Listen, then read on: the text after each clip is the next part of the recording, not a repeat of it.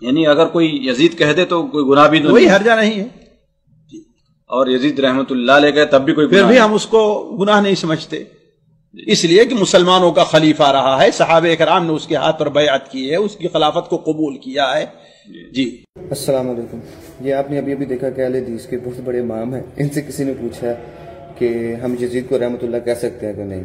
تو آگے سے انہوں نے بڑے پیار سے بڑے سکون اطمینان سے دل سے کہا۔ کوئی مسئلہ نہیں، کوئی گناہ نہیں، آپ رحمۃ اللہ علیہ کہہ سکتے ہیں۔ لیکن آپ انہی اہل حدیث کے سامنے جا کے صرف اتنا بول دیں۔ مولا علی، پھر ان کا آپ ریئیکشن چیک کریں۔ پھر یہ آپ کو اسی ٹائم میں بولیں گے، مولا صرف اللہ ہے، ہم مولا صرف اللہ کو کہیں گے۔ اور ان کو بھول گیا کہ زبیر علی زئی صاحب نے ایچ کیمرے کے سامنے امام ابن جوزی کی اتنی بڑی کتاب کھول کے دکھائی کہ اور انہوں نے اس میں صاف دکھایا کہ یزید سے ہم جو حدیث بھی بیان نہیں کر سکتے، وہ فاسق و فاجر ہے اور اس سرکش کا رد جو یزید کو برا بلا نہیں کہتا۔ تو اب مجھے نہیں پتا یہ سرکش ہے یا کیا ہے لیکن ایک بات تو جو ہے نا ظاہر ہو گئی ہے کہ اہل حدیث ہے تو ناسبی ہے مانے یا نہ مانے۔ نہیں یقین آتا، چلو میں آپ کو ایک ثبوت دیتا ہوں۔ ابو یحییٰ صاحب کا یوٹیوب کا چینل کھولیں، ٹھیک ہے؟ اصلاح میڈیا شارٹ کلپس۔ پورا پورا چینل دیکھیں، ٹھیک ہے؟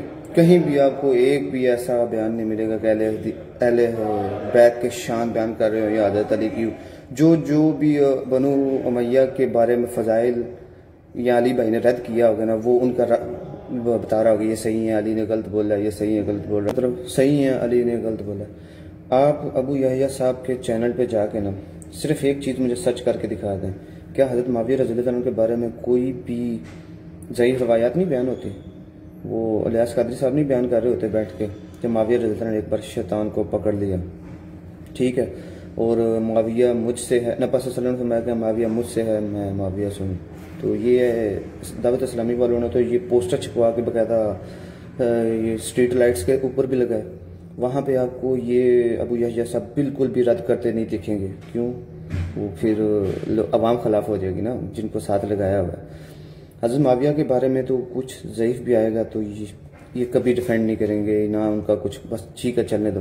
لیکن یہی سیم باتیں حضرت علی کے بارے میں بیان کر کے دیکھیں آپ۔ آپ بولیں کہ حضرت علی رضی اللہ نے ایک بار شیطان کو پکڑ لیا۔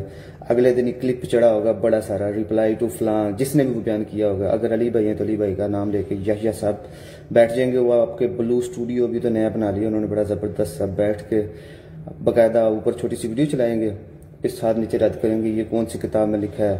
یہ فلانا راوی اس راوی سے بیان کرے گا، یہ روایت ضعیف ہو جائے گی، یہ وہ، یار، پھر اور تھوڑا سا تو ہمیں پھر بولنا بنتا نا کہ علی بھائی جو ہیں وہ بالکل ٹھیک کر رہے ہیں۔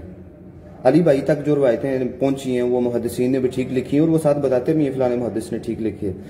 پھر ان لوگوں کو ہضم نہیں ہوتی تو یہ کہتے ہیں، علی صحابہ کا گستاخ ہولیا کا گستاخ، یہ وہ، یار، بس سمپل سی بات ہے، آپ کام کرو، آج ہی کسی اہل حدیث کے سامنے جا کے بول دو، مولا علی علیہ السلام۔ وہ آپ کے گرے باندھ پکڑ لیں گے، باقاعدہ آپ کو مارنے پہ آ جائیں گے۔ لیکن آپ وہیں پہ کہہ دیں کہ، جزید رحمۃ اللہ علیہ کچھ بھی نہیں کہیں گے۔ تو اگر میں جھوٹ بول رہا ہوں تو آپ ٹرائی کر لیں۔